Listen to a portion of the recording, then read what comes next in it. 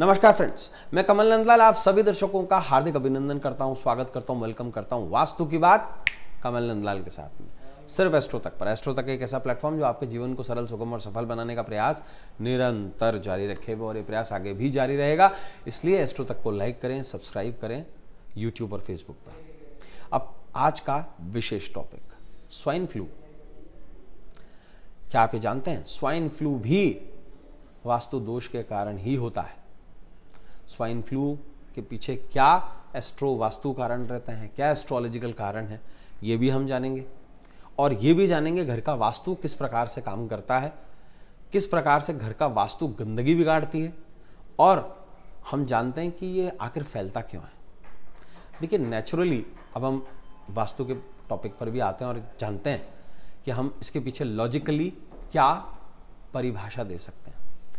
देखिए, किसी भी तरीके का वायरल इन्फेक्शन जो फैलता है, उसके पीछे कारण होता है केतु।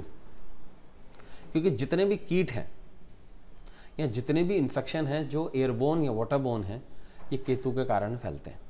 लेकिन इसका पॉजिटिव ऑर्गेनिज्म जो होता है, जो वायरस है, वो राहु को सिंबलाइज करता है। साथ में साथ के अंदर ज्योतिषी अगर हम इसका एमैंगलम करेंगे, यानी कि ज्योतिष और वास्तु को जोड़ेंगे तो मैं आपको बता देता हूँ, ये घटनाएँ क्यों होती हैं?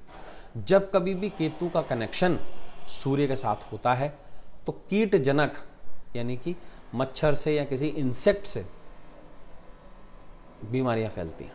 लेकिन हम ये जानने की कोशिश करेंगे, इस बीमारी का कैरियर कौन होता है? इस बीमारी का जो कैरियर होता है, वो होता है राहु। क्योंकि जितने भी वायरसेस हैं, वो सारे के सारे राहु जनित होते हैं। और इस पर जो सबसे बड़ा रोल प्ले करता है, वो प्ले करता है शनि। इसलिए अब हम बात करेंगे कौन सी ऐसी डायरेक्शन है जो बहुत ज़्यादा रिस्पॉन्सिबल है स्वाइन फ्लू को फैलाने के लिए। ये डायरेक्शन वास्तु के अकॉर्डिंगली है।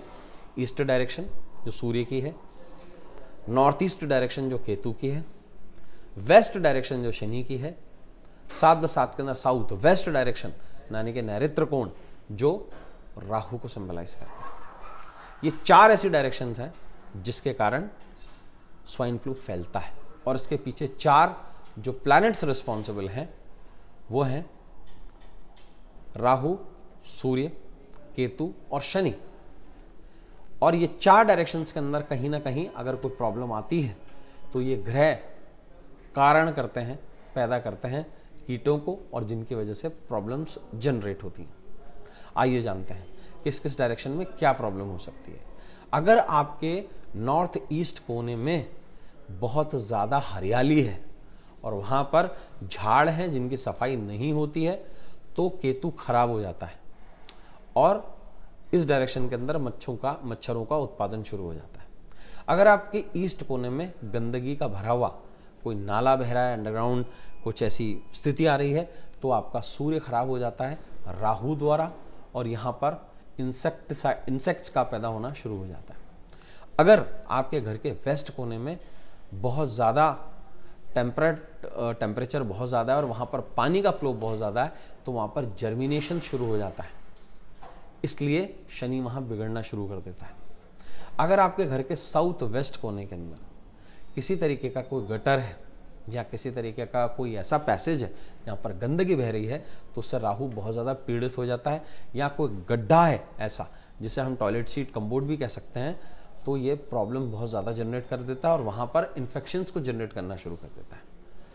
अब हम इसे कैसे सुधारें, ये भी मैं आपको बताऊँगा। देखिए ईस्ट डायरेक्शन जो होती है, वो अग्नि की डायरेक्शन है, वो डायरेक्शन है सूर्य की।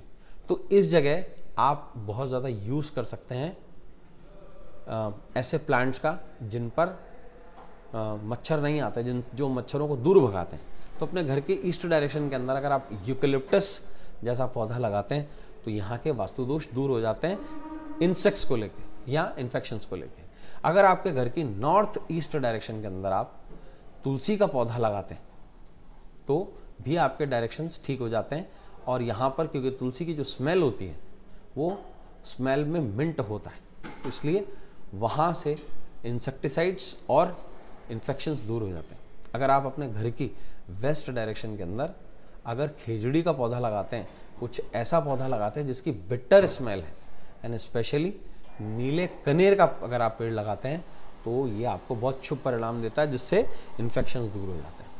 अगर आपके घर की साउथ वेस्ट डायरेक्शन के अंदर आप सदाबहार का पौधा लगाते हैं तो ये एक ऐसा पौधा है जो बहुत ज़्यादा मेडिसिनल प्रॉपर्टी रखता है जिसकी वजह से जो नीले उसके फूल होते हैं आपने देखा होगा वॉयलेट कलर के जो फूल होते हैं सदाबहार के या वाइट या आ, थोड़े से टूवर्ड्स ब्लू ये इतनी अच्छी मेडिसिनल प्रॉपर्टी रखते हैं कि इस जगह की और को सुधार देते हैं और यहाँ से इन्फेक्शन दूर हो जाते हैं। तो दोस्तों हमने जाना कि स्वाइन फ्लू किस वजह से होता है और उसका क्या उपचार है।